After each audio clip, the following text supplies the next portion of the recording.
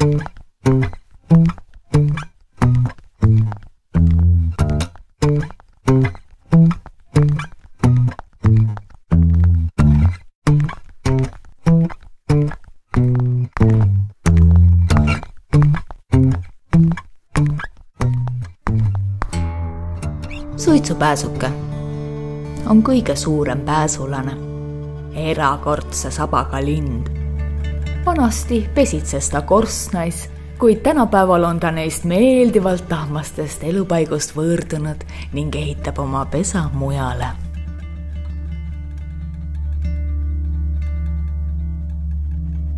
peenemad harksabad väldivad saviplonnidega jändamist ning kolivad moodsasse tehispessa, mis ühele stiilitundlikule linnule ometi igati sobilik on. Kõige tavalisemal külapääsukesel tuleb siiski leppida mõne emase liigikaaslase meistritööga. paraja pesa ehitamiseks kulub eesrindlikul emaslinnul üle tuhande suurepärase savitüki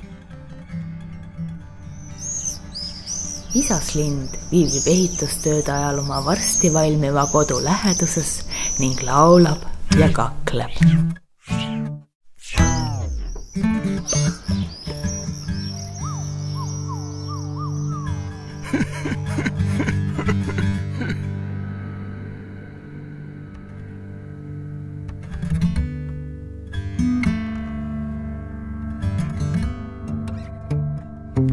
Oht varitseb suitsupääsukest kõikjal.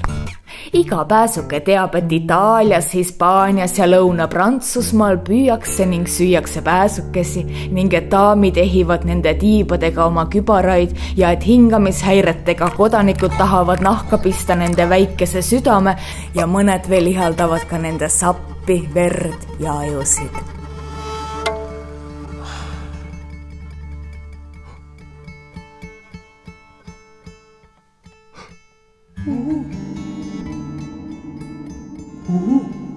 siinsamas lähedal luusib ringi kodukakk.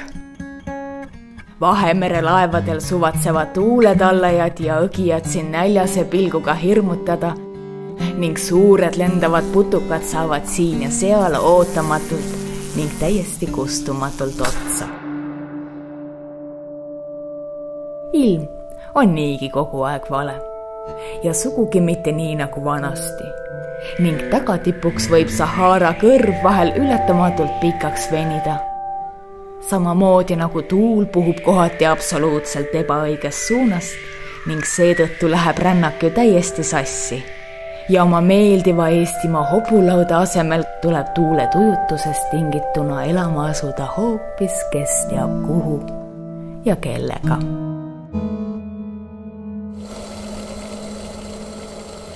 ja see ei ole veel kõik.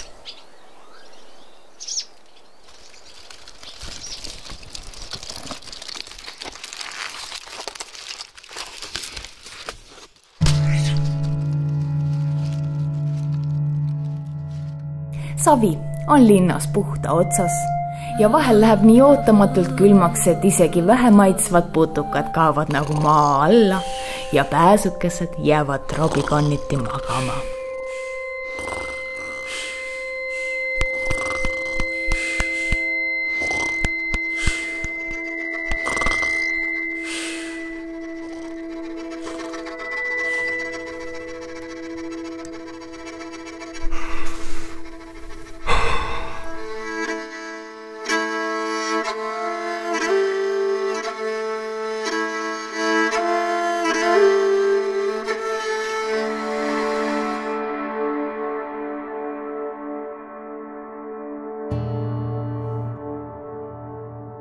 ja mis on kõige kummalisem, õhtuti ei pääse laudauksest sisse